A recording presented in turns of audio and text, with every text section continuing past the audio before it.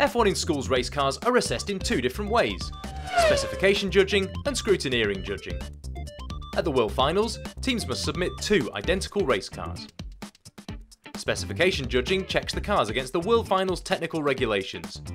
The regulations are split into three areas general, safety, and performance. General regulations cover specific required features for the cars, such as minimum and maximum length, maximum overall width and height, and the number of wheels. Safety regulations make sure that the cars are safe to take part in racing. Failing one of these could mean the scrutineers ruling a car unable to race. Performance regulations ensure that no team gets an unfair advantage and include minimum weight, wheel design, and wing dimensions. The cars are thoroughly checked by the eagle-eyed judges using gauges, jigs, and precision measurement tools. Teams start with 100 points and have penalties deducted based on how well both cars comply with the technical regulations. As the dimensions are measured to the nearest one of a millimetre, teams must be very careful when designing and manufacturing their cars, as a small error could be the difference between a perfect score or a big points loss before the car is even raced. The points are also very important for one of the most coveted awards, the Best Engineered Car.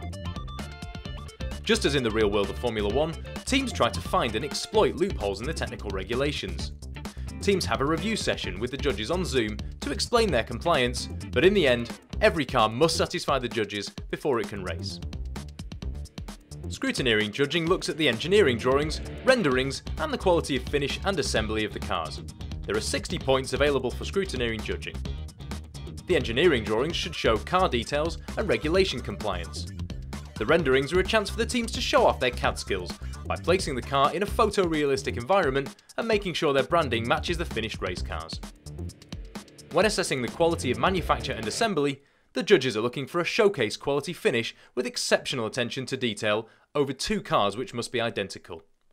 Just like in the real world of Formula 1, eliminating even the slightest blemish is essential for teams to reach the finish line first.